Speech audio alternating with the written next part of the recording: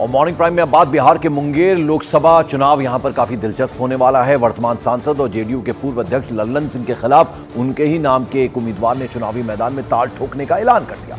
बाहुबली लल्लन सिंह ने निर्दलीय चुनाव लड़ने का ऐलान कर दिया। बाहुबली लल्लन सिंह की पत्नी मोकामा विधानसभा उपचुनाव में बीजेपी की कैंडिडेट थी, लेकिन अब वर्तमान सांसद के खिलाफ लल्लन सिंह ने चुनावी घोषणा करके मुंगेर को एक बार फिर से हॉट सीट बना दिया है। इसी सीट से आरजेडी ने बाहुबली, अशोक महतो की पत्नी अनीता कुमारी को चुनाव मैदान में उतारा है। तो मुंगेर में लल्लन वर्सेस लल्लन अब देखने को मिलेगा।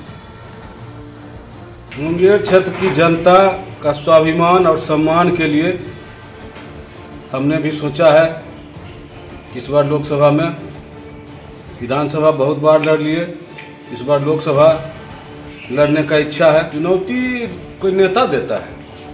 जनता देता है कार्यकर्ता देता है। और जनता देगा।